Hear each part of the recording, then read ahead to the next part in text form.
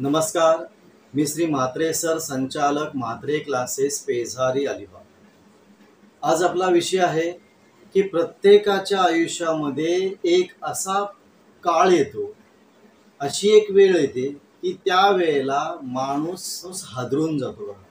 आयुष्यामध्ये चांगला काळ असतो आणि असा एक काळ असतो की त्या काळी बघा असा एक काळ असतो की सगळ्या उलट गोष्टी घडतात. म्हणजे माणूस जे करायला जातो जे उलट होतं बघा.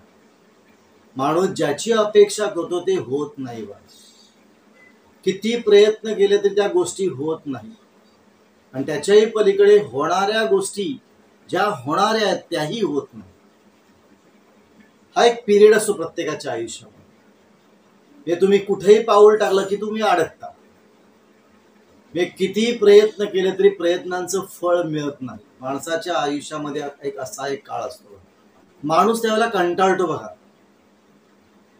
आणि हा जो काळ असतो बघा हा जो पिरियड असतो कधी कधी सहा महिन्याचा पिरियड असेल कधी कधी वर्षाचा पिरियड असेल कधी कधी दोन वर्ष कधी कधी चार वर्ष कधी कधी आठ दहा वर्ष सुद्धा जातात. की त्या पिरियडमध्ये ज्या घटना घडतात त्या त्या घटना माणसाला त्रासदायक असतात. मग अशा वेळेला हतबल होऊन चालत नाही. अशा काळामध्ये माणसाने स्वतःला त्रास करून घेऊ नये. कारण आपल्या मनासारखं काहीच घडत नाही.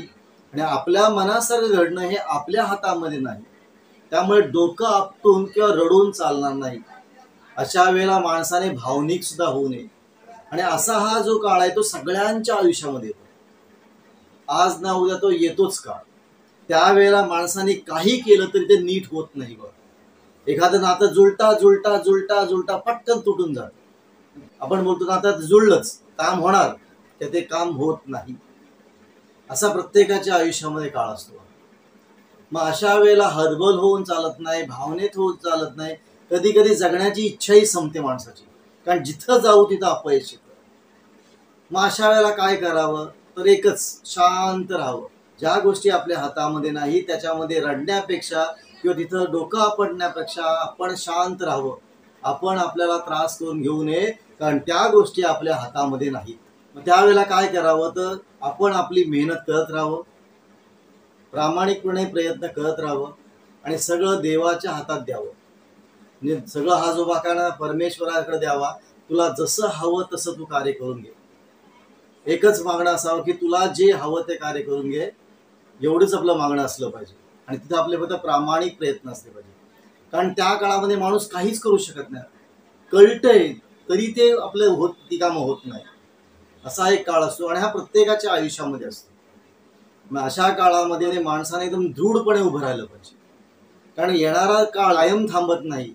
हा काळाला काही काळाने हा काळ जाणार आहे. पुन्हा चांगले दिवस येणार आहेत.